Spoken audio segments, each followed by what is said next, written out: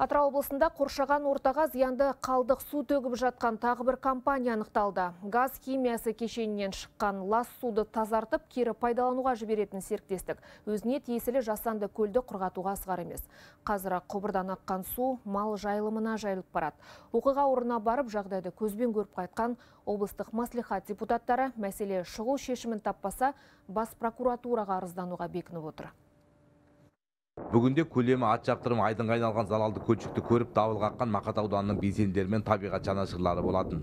Кейін мәселе облыстық мәслихатқа жетіп депутаттар табиғат ластаушы компанияның жұмысымен танысты. Белгілі қоғам қайраткері депутат арман қайруллин маман ретінде қалдық судың құрамын тізбелеп санап берді. Бұлардың құрамы нитраттарға аммоний сульфаттарына ауыр темірлерге және өзгелерге бай екенін алғашқы сараптама мәлімдеген болатын. Бүгін біз өзіміздің тәуелсіз сараптамамызды жүргізу үшін және қайталама альтернативалық мәліметтер алу үшін арнаулы компанияны шақырып осы жұмыстарды жүргізіп жатырмыз.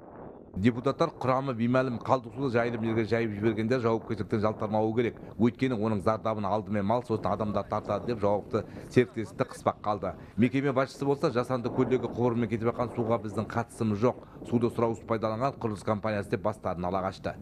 Хотел пояснить что құрылысшылар біздің рұқсатымызсыз жасанды көлден су алған. Мәселенің мән жайын анықтаймыз. Жалпы біздегі су тазартатын барлық құрылғы жұмыс істеп тұр. Қазіргі уақытта кпи да жөндеу жұмыстары болып жатыр. Сондықтан оларға көп судың қажеті жоқ. Біз тек күнделікті пайдалану үшін аз ғана мөлшерде жіберіп отырмыз.